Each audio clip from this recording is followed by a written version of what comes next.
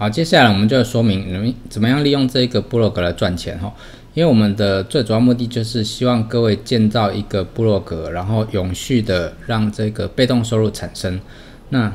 你经营一个部落格哈，如果你长期去写文章的话，你就会有被动的 SEO 的效果，就是自然搜寻，然后自然被搜寻到。那你这里面文章呢，你当然是要写一些跟这个教学相关的，就是说你现在想要卖什么样的课程，你就写那一类的文章。看你是要去 Google 搜寻相关字词，然后去搜寻相关文章做参考，或者是呢，你直接到我的 blog 来 copy 我的文章哦，当然都可以。有一个要先跟各位解释，就是假设你去 copy 我的 blog 文章的话，那你要修改里面的内文哦，不要全部一个每一个字都照抄，因为这会有个不好的后果，就是 Google 的搜寻引擎如果去判断到有两篇或三篇以上相同的文章，一模一样的内容的话，你的这个 SEO 的效果会变差，甚至你的网站会被排除，会被摒除掉哦，因为他觉得，哎，这个是抄袭的，所以你的 SEO 并没有加分的效果。所以呢，如果你要去抄我的文章的话，你抄过去之后，你把它改一改，好不好？好，那我们现在来讲一下，怎么样去把这个代码插进去哈。所谓代码就是我今天到这个浏览吧知识变现联盟行销，那你们都已经是联盟行销会员的嘛？那在底下。这边就会有个 A P 联盟会员站台，好，会员后台，联盟会员的后台登录之后呢，你你记得要先登录你的账号密码，哈，因为你们是会员，你们都有账号密码，啊，记得要先登录。那登录之后，点击刚刚下面这个 A P 联盟会员后台，就会跑到这边来。那这时候呢，你可以看这个，这个之前我们讲过，哈，那我这边再复习一下，就是代码的部分。代码部分呢，就会有，譬如说我今天想要插入这个到我的文章底下，可以哈。那这个横幅广告的是宽度是八百，高度是一五零，那语法就在这边，那你就可以把它复制起来，好，把它复制起来。那因为你登录的时候啊，这边会有你自己的 ID，好，像这个一是我自己，那你会有你自己的 ID，你就把这一整串都复制起来，好，然后呢，你就到部落格，好，比如说我今天要编辑这一篇文章，那我到后台去选择这个。发表文章里面的文章，然后把按编辑。那我在底下哈，譬如说这边啊，记得哈，我要插入这个代码的时候，要先切到 HTML，切到 HTML。然后假设你不晓得，哎，这个 HTML 到底是要插在哪个地方，你在这边先做个记号，就是我们之前讲的哈。譬如说我希望在这边插插插好了，然后再。到 HTML 这边，你去找到叉叉叉这个位置，就是我刚刚想要把它插进去的这个地方哈，把它复制起来，然后直接把按 Ctrl V 贴上刚刚那串代码哈，把它覆盖掉刚刚的那个叉叉叉，好，然后呢，你再按一下撰写，好，回到回到你这个页面来，按一下更新，好，我们再到前台去看一下哈，重新整理一下，哦，你就看到了这一个图片就已经出现在你这个文章的下面了。那你这篇文章在撰写的时候呢？譬如说我今天想要推广微信公众号，微信的行销教学，那你在这边呢就写一些微信相关的一些资讯哦，看你要去 Google 找资讯、找资料，通通都可以。然后你去写一篇相关的文章，或者是你直接到我们这个课程来，哦，我们这边有一个所有课程。那假设你今天想要对微信课程，想要推广微信课程的话，那你可以抄这段文字，好，这是 OK 的。然后譬如说我把它抄这段文字好了。然后把它贴进来，我刚刚那个地方把它贴进来，跟微信相关的，好，按一下更新，好，再到前台去更新一下，好，假设是这样子哈，那人家看完这个跟微信相关的文章，他觉得哎不错，我想要，那他是不是就看到这个广告，他就想点了？那点了之后呢，他就会连到这一个购买页面来。那一旦他下单之后，因为这后面带的是你的 ID 嘛，好，这带的是你的 ID，所以购买之后呢，奖金就归你的，好，就这样。然后每一篇文章你都可以去做不同的内容，哦，去销售不同的商品。那以后我们的课程会越来越多，所以你将来的部落格文章就可以越写越多，哈，不同的内容，让你那个部落格就越来越充实，然后被搜寻到的几率当然就越高。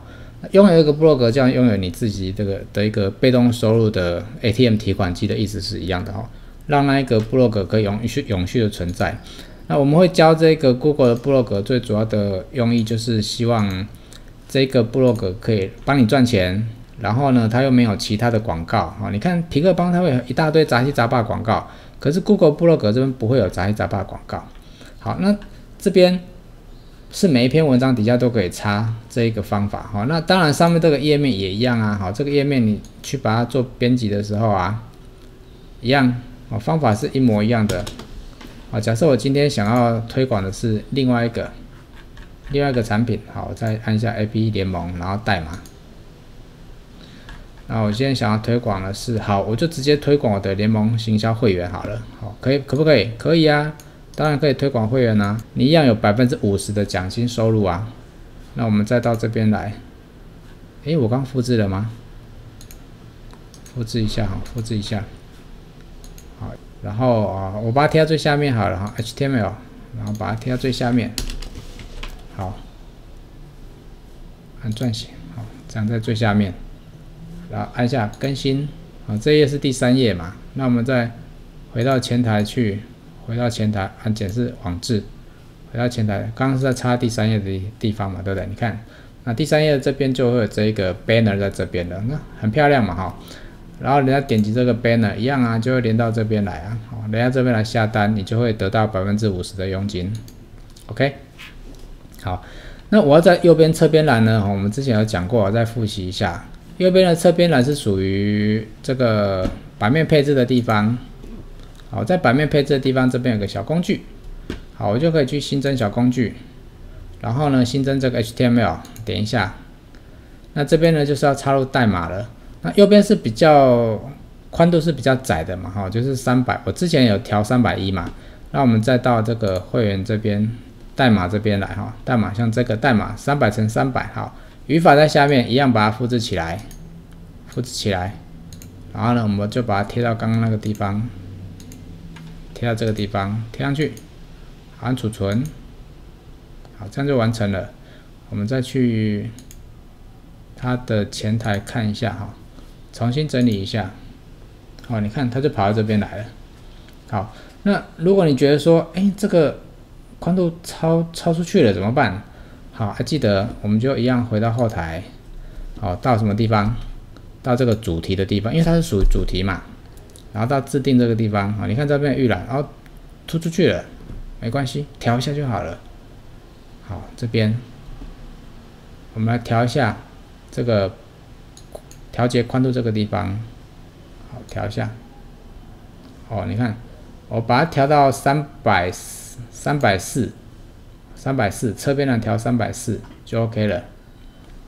哦，这样看起来就刚好了嘛，对不对？好，这时候呢，按一下套用到网志，返回 Blogger，啊，返回到后台去。再看一下这个预览画面，诶，正常了，对不对？好，我们到到你那个前台去重新整理一下。你看，这样就正常了。好，回到首页，你看，这样是不是就很漂亮？你可以多摆几个嘛，多新增几个区块嘛。比如说，我们再新增第二个区块好了，一样到版面配置的地方，好，一样新增小工具，一个区块就是一个小工具，一样选择 HTML。好，这是我们要插入什么？哦，我们今天插啊文案好了，好文案，文案这个复制。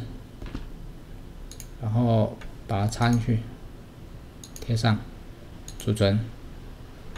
好，我们再到前台去看一下，重新整理。你看，这样就两个了嘛？那是不是在人家在看你这个文章的时候，比如说我点击，人家在看你这篇文章的时候，他要看到你的侧边栏这个广告，他点了广告，连过去下单，你又得到百分之五十的奖金。好，就这么简单。